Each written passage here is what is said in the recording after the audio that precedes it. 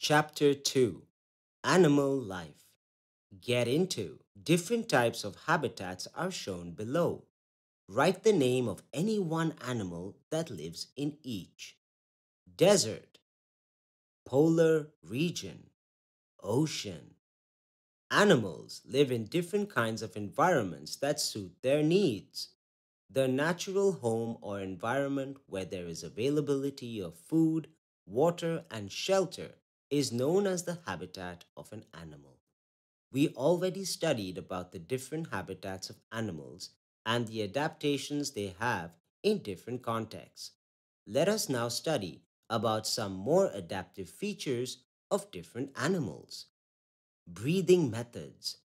All animals breathe in oxygen, but they take it differently. Like birds, reptiles, and mammals breathe with the help of lungs. Earthworms breathe through their skin. Fish breathe through their gills. Lungs.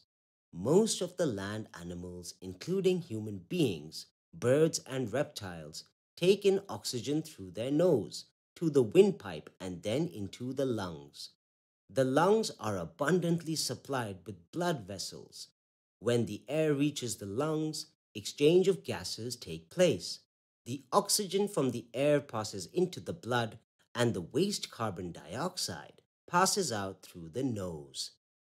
Infomine, a special substance, hemoglobin, helps to carry fresh oxygen through the blood to all parts of the body. Spiracles, insects like cockroach and grasshopper breathe through tiny holes called spiracles present on their bodies. Spiracles lead to air tubes which are spread throughout the body. They carry air to all parts of the body. The body tissues absorb oxygen and give out carbon dioxide, which is thrown out in the environment from the body through the spiracles. Moist skin.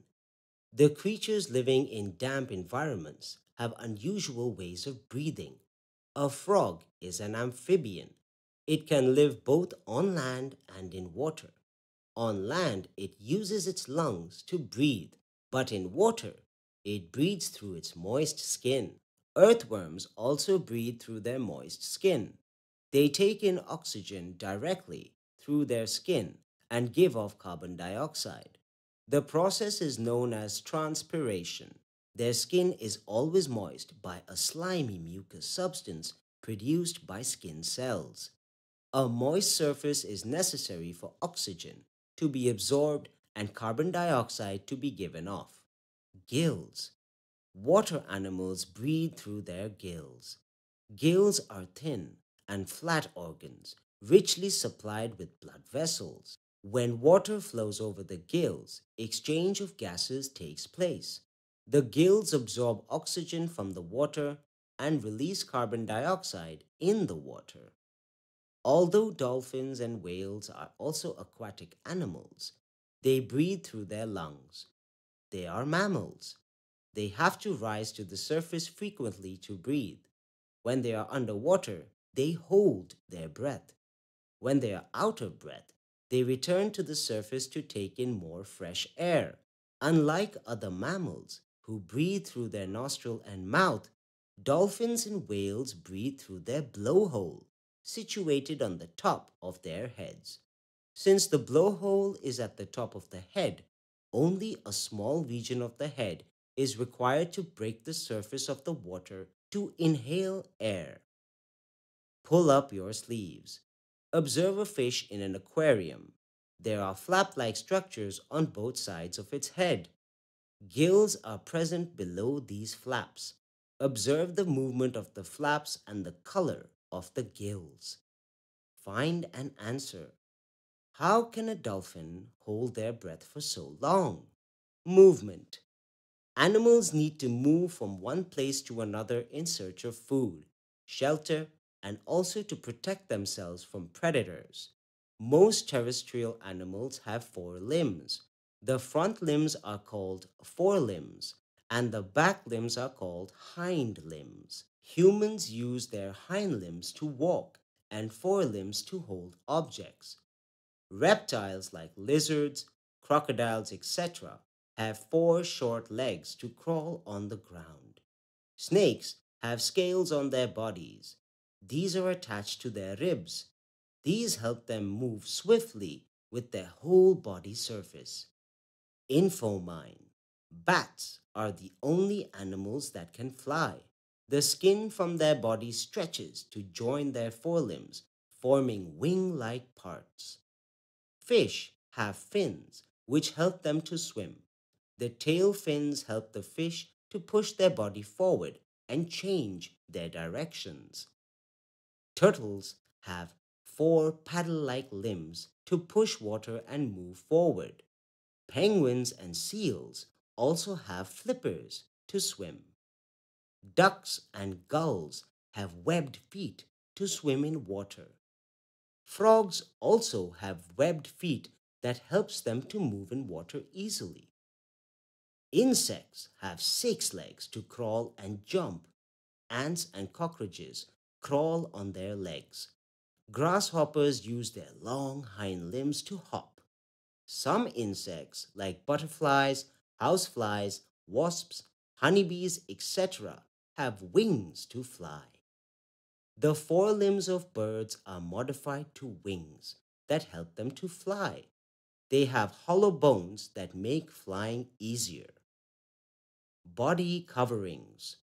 Different animals have different types of body coverings which help them to survive best in their environment. Some types of body coverings are scales. The bodies of fish and reptiles are covered with scales. The scales on the body of fish are flexible, overlapping, and waterproof. They make a type of slime that makes it easier for them to escape enemies and protect them from diseases. The scales on the underside part of a snake's body help it to grab the ground so it can slither along. Infomine. The scales are hard so they can provide a sort of armor for the animals. Shell. The bodies of animals like snails, turtles, and tortoises have a hard shell. The shell protects them from enemies and prevents their bodies from drying out. Feathers. The bodies of birds are covered with feathers. The feathers help the birds to fly and to keep their bodies warm. You have already studied in detail about different types of feathers of a bird in your previous class. Fur. All mammals have fur of one sort or another. It may be small hair or a full fur coat. Fur keeps the animals warm in the winter and cool in the summer. Some animals even shed their fur to get their winter fur or summer fur. Up for review. State true or false for the following. Insects breathe through spiracles. Earthworms breathe through lungs. Dolphins and whales are mammals.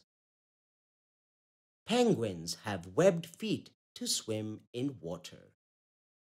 Migration large-scale movement of an animal species from one place to another is called migration. Animals migrate to escape from harsh local climate or in search of food. Birds like the Arctic tern travel a very long distance of about 35,000 kilometers from the Arctic to the Antarctica and back. Siberian cranes come to India every winter to breed. Fish, like salmon, spends most of its time in the sea. It travels long distances to reach the river to lay its eggs. When the eggs hatch, the young salmons travel back to the sea. Insects like locusts and monarch butterflies also migrate large distances. Locusts travel in huge swarms and destroy standing crops. Monarch butterflies migrate from Canada and North America to Mexico. Take a look. Breathing methods. Lungs, spiracles, moist skin, gills, body covering, scales, shell, feathers, fur.